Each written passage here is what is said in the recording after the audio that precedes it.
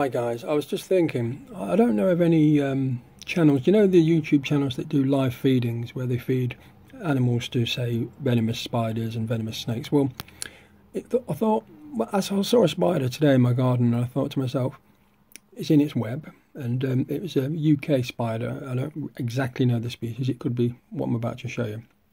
And I thought to myself, what if I was to get an insect somewhere from the garden of some type or, or, or a little animal uh, chuck it in the web, and then I could demonstrate, film that, and film the spider crawling down to it, and then wrapping it up.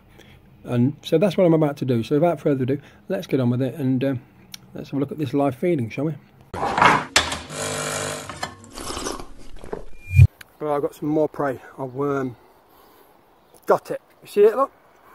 Right, watch what the spider will do. Crawl down to it, and it'll wrap a web around it. See?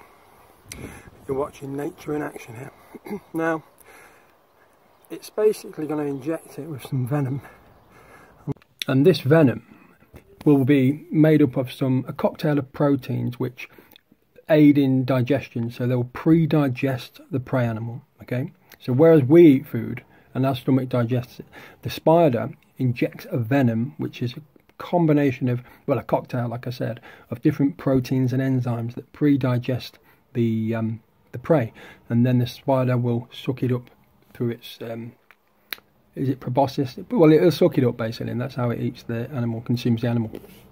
So, if you want to talk about uh, spiders that are dangerous to us, um, they're not poisonous. Poison is ingested, venom is injected. Okay, so never say that uh, a spider's poisonous. Okay, you have to eat something for it to be a poison. Anyway, that with, with that minutia out of the way, I just wanted to mention quickly there are some spiders obviously that have neurotoxic venom, like uh, the Sydney funnel web, or the well, I'm not sure the black widow spider, which is or the redback spider, which are the same family. If they inject the venom into you, you stop breathing. So it, we're fortunate to live in the UK where we don't have so, so much such dangerous animals. Anyway, that's all I wanted to say today. So you've enjoyed the the show to the extent that it was.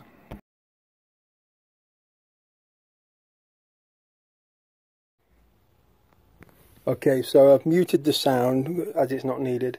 Uh, I don't need to narrate it. So what I'll do is I'll shut up now. You've just seen me throw the throw the thing in, and I'll uh, I'll leave you in peace to watch the full footage if you really want to. Okay, thanks for watching.